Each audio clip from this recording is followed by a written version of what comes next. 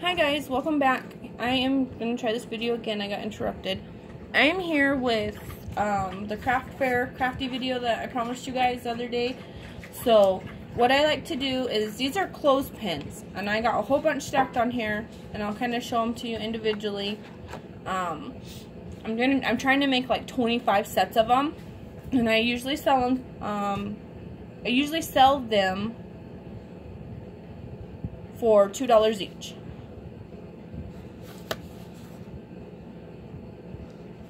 So all they are is clothespins and I, I glue magnets on the back. Sorry for stuttering guys. A little distracted. Okay, so these are all Dollar Tree stickers because I got carried away buying Dollar Tree stickers a couple months ago.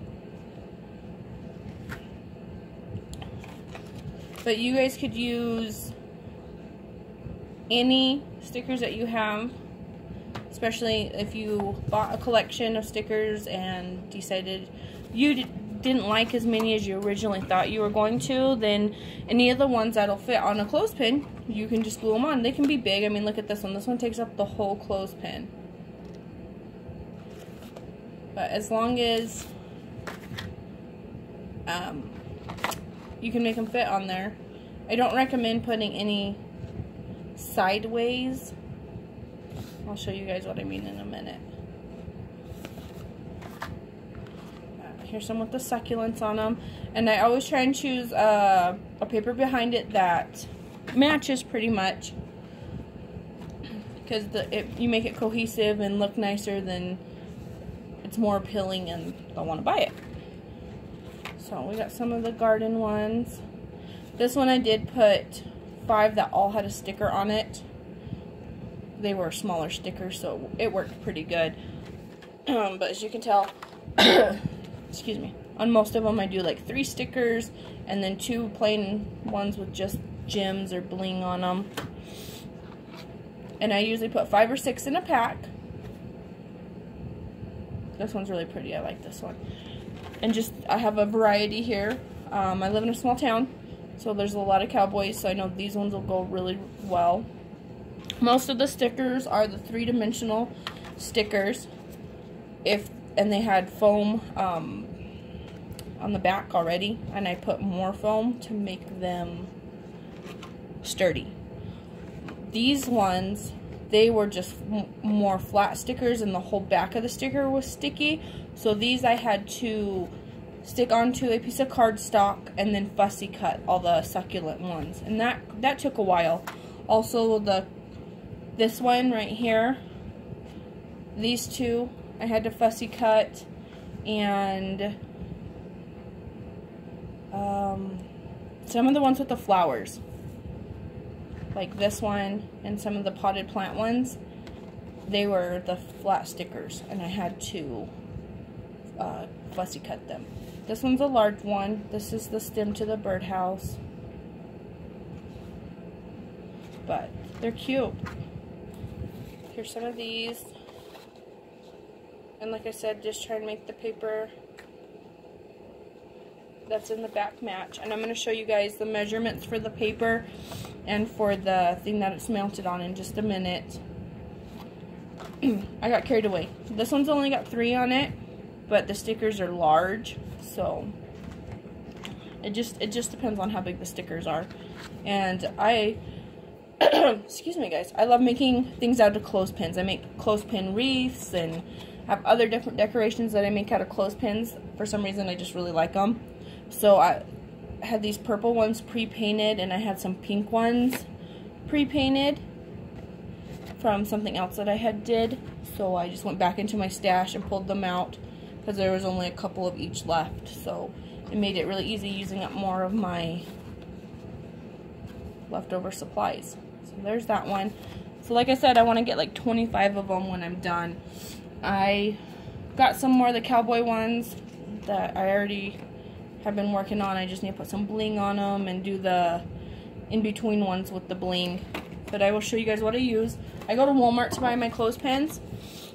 You can get a hundred of them for $1.78, $1.88. So that's cheaper than buying a 50 pack at Dollar Tree for a dollar. And then I get my magnetic tape at Walmart also. Sorry guys, I had to take a drink. It comes, it's one inch, and it's 10 feet long. And it just unrolls. This side is sticky. And then I just, for the ones that I was using with the Cowboys, where did my pin go? I use a furniture pin that you use to fix scratches on your furniture. And I literally just take it off and run the marker across it. And that's how I stain these ones. And then for the ones that I'm not going to stain, I find a piece of paper. And I, you can use cardstock. This is really flimsy paper that from a pack I bought at Walmart. And just find which direction you want your pattern to be going. I try not to ch choose too busy of a pattern paper. That way it doesn't distract from what you're putting on it. But, let me open my clothespins because I need them. I use just my tacky glue. And I know with thinner paper, it can warp the paper. And you, you gotta be really careful. I'll show you guys a little trick that I use with it to make it not quite as bad. But I'll take whatever my stickers are, especially if they're on like the clear acetate, and I'll take like my paper and I'll kind of line them up and look and see if what I have goes with the background. Because you want it to match. Pretty good. But, excuse me. When I do this, I just put a little bit on there like that, and then I actually just take my finger and smear it all the way across and then line it up. And I kind of wiggle it a little bit and you can feel it get like tight and that way I know it's secure. And oh I broke one. My pack is stuck. Give me a second. Breaking stuff already. I do do stuff where I take them apart so that's okay. And I'll kind of look at it push in your things, make sure they're all the way in and it's not really crooked and one side doesn't cut off or cut off because sometimes that happens.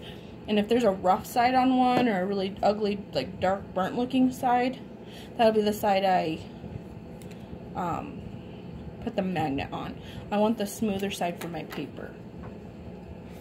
And then again, I'm almost out. Just kind of like that and just smear it. Make sure you get it really close to the edges so it doesn't pill up. I have used Mod, Mod Podge to do these, but if you Mod Podge the outside of the paper, uh, the hot glue, when you glue your stickers down, it tends to not adhere very well and it'll pop off. I've had to re-glue several of them because of that. So, I think this just works better. And you can stick them pretty close together you just need enough room to get a pair of scissors in between it. And that way uh, you don't waste a lot of paper. There are several other people. I know Scrap the World is one uh, that has done this and has a tutorial on it. I was doing this even before I found all the YouTube videos.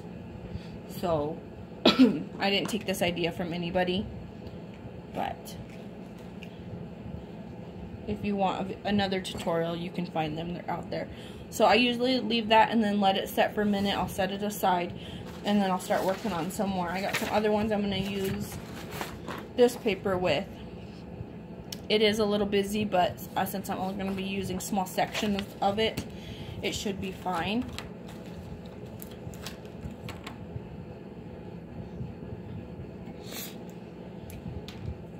I'll just do a couple more really quick and then I'll move on and show you what else I do because I only have 20 minutes of recording time on my phone so all my videos have to be under 20 minutes. And I can only if they're bigger or take up the whole 20 minutes I can only record and post one at a time. But that's okay. It keeps them short keeps me hurrying and then you just don't have to listen to a huge long video oops sometimes they get a little crooked. So, see how that one's not all the way in? Just kind of snap it in. This side looks a little rougher, so I'll save that for the magnet side. And just smear it. Get your baby wipes out. You can wipe off your finger if it drives you crazy. One last one really quick. And I got a couple measurements here that I'm going to show you for the bases. Alright, so we got this on there. I'm to pause the video so I don't run out of time, and I will switch up what I'm doing right here, and I'll be right back. Okay, so it's been a couple minutes. I moved this over here. So these are the yellow ones, and see as you can tell, there's very little warping on it, but you can just tell the indentions where this is. So like I said, all you needed was enough space to cut in between them. So go like this. and then get a smaller pair of scissors. And I turn it this direction. And I just line my scissors up against it. You can feel when you hit it. And I just kind of go through. It is a little difficult when you get by this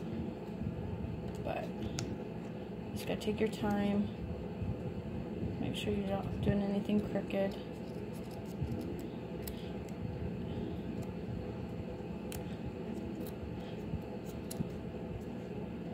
There we go. Looks pretty even, looks pretty straight. We can get to focus on that. Oops. So. And then I'll put my magnet on. Now what I do for my magnet is I take my clothespin and since all the clothespins are different lengths, I usually just go like this. I did measure out. It was um, three, three, two and three quarters inches, I believe. I'll measure in just a second. Let me see if I can. There we go. See, I just leave it just a little bit. So I have just a little bit of room because like I said, they're not all the same. So let's see here. Yeah. Two and three thirds of an inch. Three fourths, excuse me two and three fourths of an inch is how long this is and it's one inch wide and if on most of them I don't know if you guys can see this or not let's see here nope you can't but on the paper there's like a little faint line right here and a little faint line right here so I cut a core about a eight or so inch on the in outside of the line I guess and then I'll flip it and I'll do the same thing. And that makes them all pretty even in size. And then from this one inch piece, you just have enough for three clothespins. So I peel off the sticky on the back and I always put hot glue on it. Just because like I said, I like my stuff to stay put. I don't want it to fall apart when somebody picks it up and touches it. And then I just hold it onto the back I got um, the glue on my hand. Sorry, guys. And see, it fits almost perfect. Leaves just enough room in case they're just a little opposite on length. So you want to do your whatever you're doing for your paper first, then you want to put your magnet on it, and then you'll pick out your decoration. so like if you wanted to do this butterfly, say, this one's easy. You can look at it, see if it looks good. It looks pretty cute. So this one's pretty good on the foam for the length of it. Once again, I'm going to put some hot glue on there. If it was really long, say it was something that had to go this way, I would put more foam tape here and more foam tape there so that when the person is, you know, pinching it and touching it, they don't bend, bend the cardboard. And I usually put all of my dimensions about where this is. I use that as my point it seems to look pretty good like that. Sorry about the flash being on. That better? Right there, there we go, see? And then I can find some bling and put some bling on there. Give me just one second. So I picked this up at Walmart because for some reason I lose all my bling. I bought in the big container at Walmart that costs like what 10 to 12 bucks. That was like a thousand something pieces in it in three different sizes. and I've used quite a bit of it and I have it in a little sandwich bag and I can't find it. And then I bought in the, you know, the sheets of bling from Dollar Tree and I've lost those. So I picked this up at Walmart today for like three bucks. It's got 1300 in it. So hopefully I don't lose this. So I'm going to stick a couple.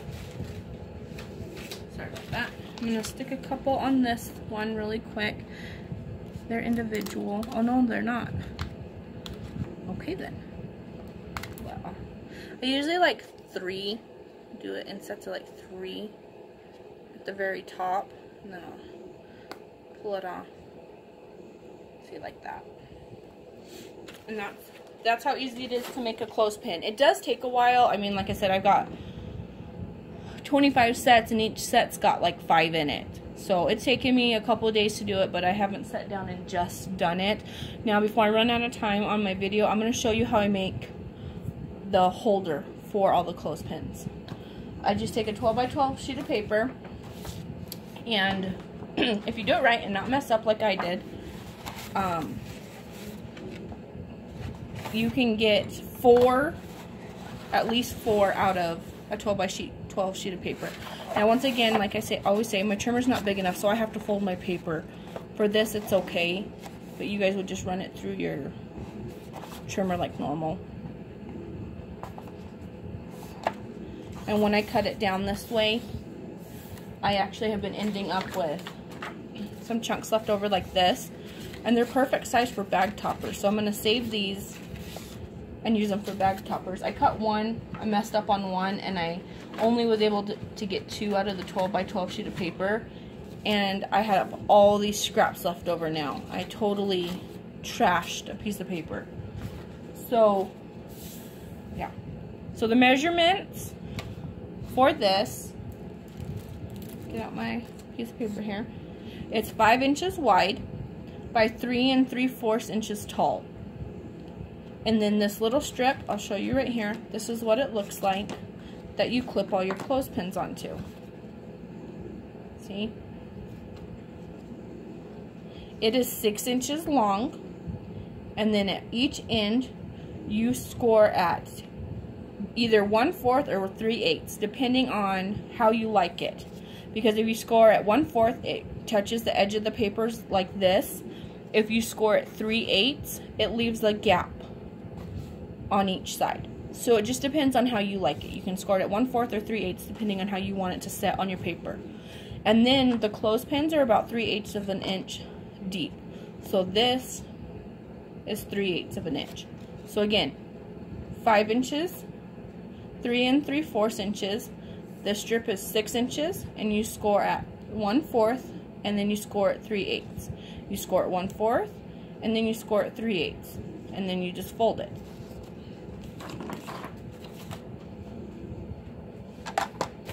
Let's see if I can get this done really quick. So I will cut at 5 really quick right here. Oops, sorry guys, I'm moving you around. I'm to cut at 5. And then I will cut at 3 and 3 fourths. And like I said, this is just how I do it because my paper trimmer is small. Here's my piece I'm to set aside for my bag topper. Here's my two pieces. Now on this other piece, before I cut it, I'm gonna, oh, I'm gonna trim that. And that one I didn't tell you guys, I apologize. It's 3 fourths of an inch wide. So this one is still 6 inches long. So at 3 fourths of an inch, I'm gonna cut it. And I can even do it again because I only need 5 inches and this is more than 5 inches. So now I got enough strips for four.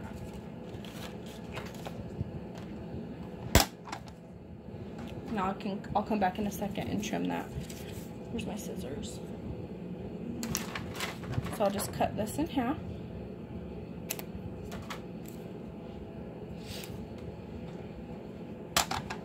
And then again, like I showed you, I'll flip it over and, oh no,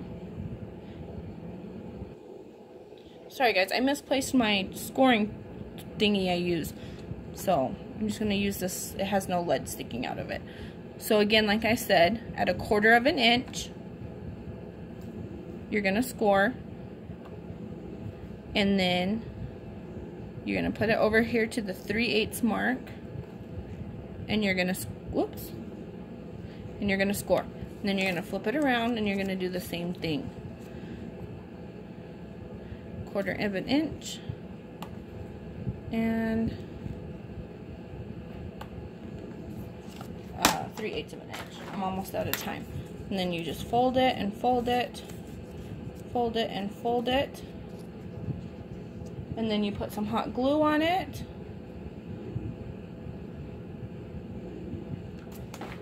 And you're going to take your paper. And I do it about three quarters of an inch up. And you just literally just set it right down on there. You can slide it around and hold on to it. So, and then to round my corners, I use this. So I'm out of time. Thank you guys for stopping